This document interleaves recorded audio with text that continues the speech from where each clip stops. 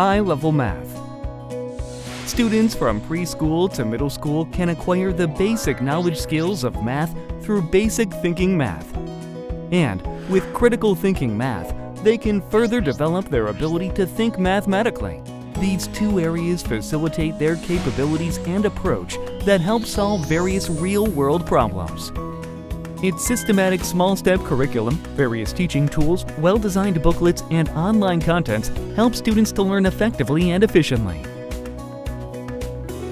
Through a systematic four-step learning process, such as concept understanding, practice, sentence-type problems, and evaluation, one can master arithmetic skills with basic thinking math.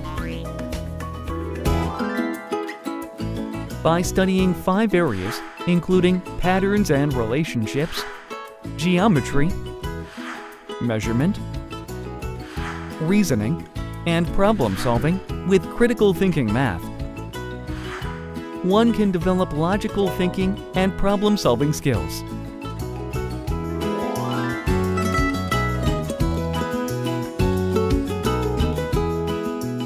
With a solid foundation built, a well-rounded mathematical thinking ability is completed.